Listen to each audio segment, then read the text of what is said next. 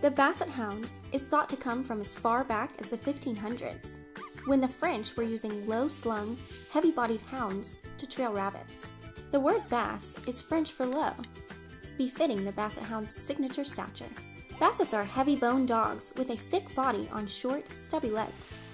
Because they are a large breed, Bassets are slow maturing dogs, often not reaching full size until two years old.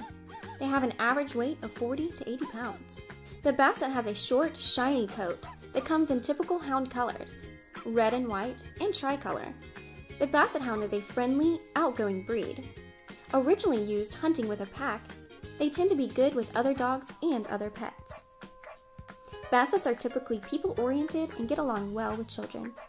They do better having a bigger environment and yard, even though they have minimal exercise requirements, as they like to wander, scenting around, as most hounds do.